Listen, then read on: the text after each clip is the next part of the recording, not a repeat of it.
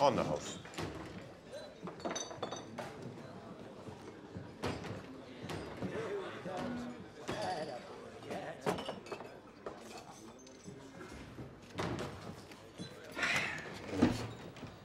You best not let Roosevelt catch you drinking your lunch, Captain.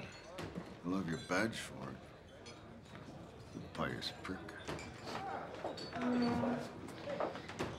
So tell me what you want done about this society pervert. Nothing. Yet. Just keep an eye on him. Easy enough.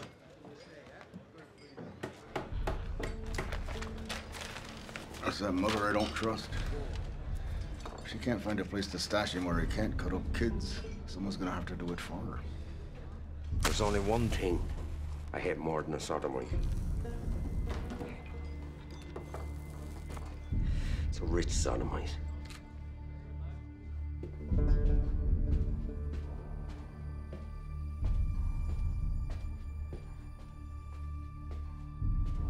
Good afternoon, Mrs. Van Bergen. Yes, Mr. Byrnes. There's been another incident. I wouldn't know. Another boy's been murdered. There's concern among certain circles. I think it necessary that arrangements be made in the best interest of your son, of course.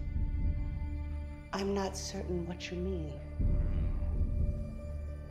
Given his history and his inclinations, it would be wise if the police were unable to question him thoroughly in this matter.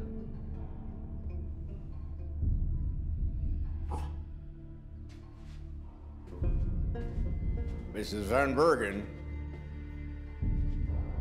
I'm not asking.